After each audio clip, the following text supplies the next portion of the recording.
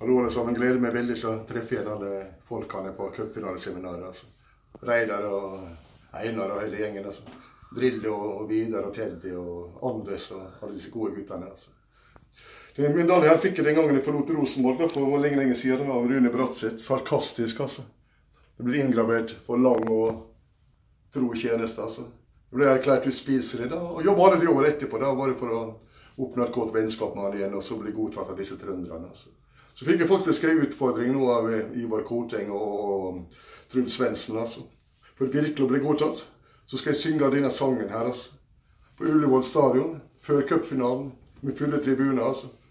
Ivar foreslo faktisk å, å, å, kutte ut nasjonalsangen og, og ta denne stedet, men eh, det gikk ikke gjennom, da, heldigvis. da. Det får være måte på. altså. Men eh, Rune Bratseth, dette er ikke bra nok, Altså. Det har ikke mer å by på. altså. det fikk beskjed om å prøve også å være litt sånn Åge Aleksandersen. Det er så vidt jeg kan han, men jeg, dette er for å gjøre meg spiselig igjen i, i, i Trøndelag. altså det, Etter jeg forlot Rosenborg, så har jeg faktisk blitt seriemester både i Norge, Sverige og Danmark. da. Champions League med Malmö da, og vært i sluttspill i VM og enda lenger altså med Danmark. Så det har kanskje gjort rett og slett for meg. men de er nødt til dere altså. Et vakkert stykke poesi. da. Så det er bare lov å ta til tårene og fremme noen tørklær. Altså. Så vi får til hvordan Åge synger, da.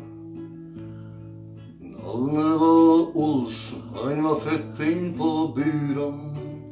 En bydel i Trondheim, altså. Men reiste ut på sjøen for at kjerringa lura. Kan du se med de fleste, da. Verdensmann varten når han kom i farten. For alltid så hadde han jo meg. Så går de spilt sammen med han karen her. Det ville vært, vært mange milliarder i dag, altså, den karen her. altså. Et bilde fra Ivers, noen kroner fra hår.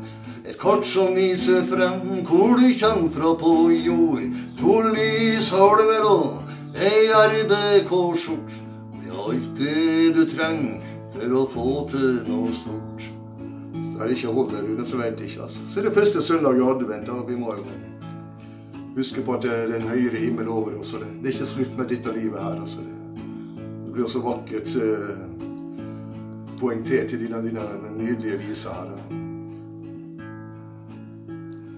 Olsen og banka på paradisets port. På jorda så hadde hun ikke utretta stort.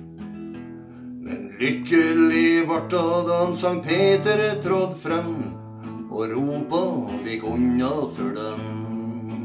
Det er så klart med gitaren nå. Som har et bilde som Ivers noen kroner fra mor. Et kart som viser frem hvor du kjem fra på jord. To lysholmer og ei RBK-skjort. Det er alt det du trenger for å få til noe stort. Så en gang til, altså. Nylig lært med din her, altså. Et bilde som Ivers noen kroner fra mor. Et kart som viser frem hvor du kjem fra på jord. To lysholmer og ei RBK-skjort. Det er alt det du trenger for å få til noe stort. Veldig bra livsfilosofi. Så må vi ikke glemme, da. Jeg skal faktisk stå foran der, og så skal også lede meg og har gitt seg nå. Så skal vi også bruke Norges mest vitale og kraftige hurrarop, altså, som sitter fart i alt, altså. Rosenborg. Da gleder vi oss til cupfinalen, altså.